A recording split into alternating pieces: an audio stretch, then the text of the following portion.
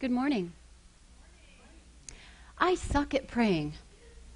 I know that's not necessarily what you want to hear from the person who's going to provide you with spiritual guidance from the week, but it's true. I am usually sitting where you're sitting, actually right over in that area, admiring the amazing prayers shared by the prayer team. They're always eloquent, thoughtful, heartfelt, and compassionate. Sometimes I feel like they can read my mind and are sharing the words that are in my head in a much more eloquent way. I'd like to thank the prayer team, um, all of the members, Rob French, Nancy Lafferty, Mary Friend, and Doug Niptash, for what they do each week to inspire us. There you go. I've, I've even been known to stalk one of the members of the prayer team at Oak Hill. Now, the first time it happened, my oldest son was writing his college essays, and I thought that the prayer would be some kind of inspiration for him um, since my nagging wasn't working. And um, so I ran up to the prayer giver right after the service and I gave my business card and I said, Could you give me a copy of that prayer? And he looked at me and he said, Who are you? Um, that's when I became known as the prayer stalker. Praying is just not easy for me. Even a few weeks ago, when the horrific tragedy unfolded at Sandy Hook Elementary School, I found more comfort and solace in the words of others than any words I could come up with on my own. Now, if you know me, you know that words usually come easy for me. I love to talk. I even love to write. At one point in my life, I wanted to be a writer for Saturday Night Live. But there is something about talking to God that um, makes me feel intimidated like I need to do it right or need to do it perfect. You see, I have something that I call prayer ADD for attention deficit disorder. It looks something like this God, thank you so much for the beautiful day today. Hmm, wonder what the temperature is going to be tomorrow. If it's warm enough in the morning, I may take the dogs for a run.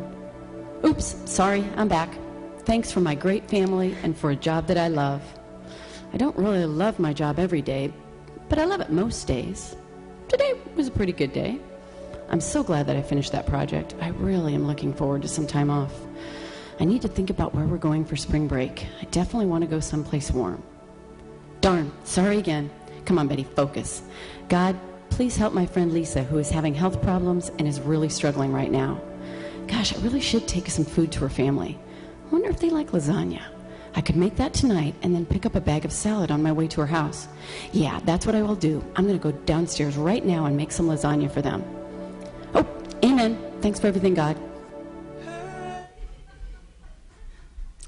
Because of this disorder, I've done a little research on prayer that I'd like to share with you. But truth be told, the biggest inspiration came from the most unlikely of places.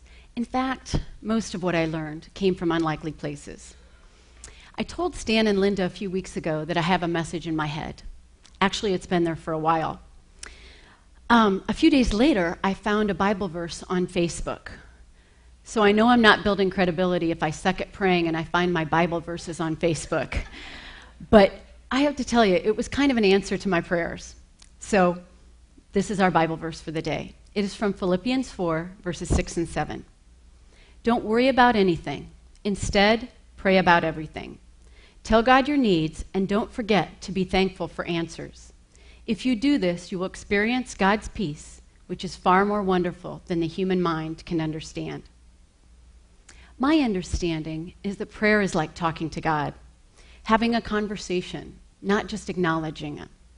When you talk to God, you can give praise, give thanks, voice your, your concerns, ask for guidance. Something I read recently about prayer from virtualsalt.com was that God is your friend, so that you can talk to God in the same way you would talk to a friend. In your prayers, you can use simple language, and you are free to express not just praise, but confusion, questions, doubts, worries, frustrations, failures, and so on. That concept of prayer in simple terms is beautifully illustrated by a few prayers that were shared with me by Jerry Toomer. He's, he sings in the Oak Hill Band. The prayers were written by his father, Ed, who, is a, who was a farmer in Iowa. On August 9, 2006, he says, Thank you, Lord, for the beautiful weather it takes to make a good crop. Thanks also for the fellowship we share in honoring another birthday of our country. Bless this food. In Jesus' name we pray. On May 23, 2007, he wrote, Heavenly Father, thank you for 87 years of pretty good going. Thanks for helping us share with each other the love that we have and the talents we have to make our relationships valuable. Thanks for this food. In Jesus' name we pray. Amen. We ask for your blessing for Don Elk in his effort to regain his health. These prayers are beautiful in their simplicity and their honesty.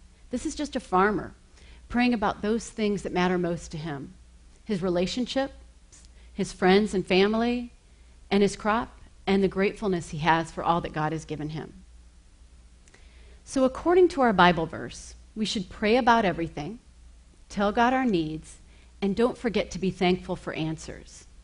This part about thanking God is really where I get intimidated. God created everything. Where do I even start to be thankful? I read something recently by Brett Krichiver, a rabbi at the Indianapolis Hebrew congregation.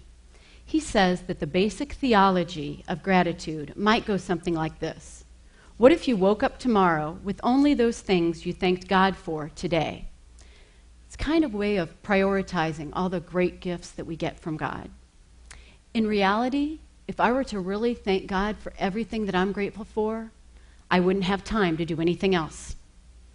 Rabbi Krichiver goes on to share some words that are common in Judaism as a way to formalize our gratitude. He says, Blessed are you, Lord our God, sovereign of the universe, who has given us life, sustained us, and allowed us to reach this moment. Don't get me wrong, I think these words are beautiful.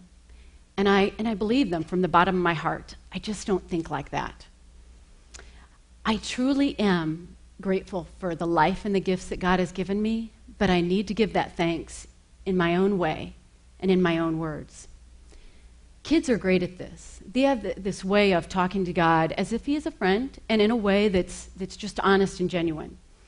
Stan shared with me, uh, Stan from Oak Hill shared with me the prayer that he and his family do each and every night before dinner. Um, you'll recognize part of it, but there's some modifications that I had never heard that were inspired by his son Harry when he was very small. He says, God is great, God is good, and we thank him for our food. Bite his hands we are all fed. Give us now our daily bread. Almonds. Our pastor says almonds when they say their dinner prayer. I love that. Several years ago, our family was traveling in the car, and my husband and I were in the front seat, and my two kids were in the back. And in between them was our two month old lab mix puppy that we had just gotten. His name was Jack. Uh, and the kids were going on and on about how cute he was look at his little nose and he's got the little white tip on his tail and see how furry he is. And at one point, my youngest son looked down at the dog, looked out the window of the car, and said, Good job, God, two thumbs up. And to this day, that is my favorite way of showing gratitude. I find myself, um, when I see a beautiful sunset, or a beautiful flower, or taste an amazing piece of chocolate, like the salted caramel hot chocolate at Starbucks right now. Um, or I find a pair of jeans that actually fits. I think to myself, good job, God. Two thumbs up.